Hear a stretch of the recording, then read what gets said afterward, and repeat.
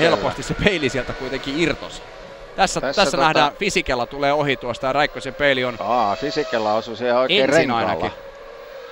Sitten se putoaa uudestaan sinne, lentää vähän pienempään vähän kauemmaksi tuosta ajolinjasta. Kyllä. Tässä nähdään kuinka se irtoaa. Oho ja. Tuulen viemään. Tuule viemään, joo.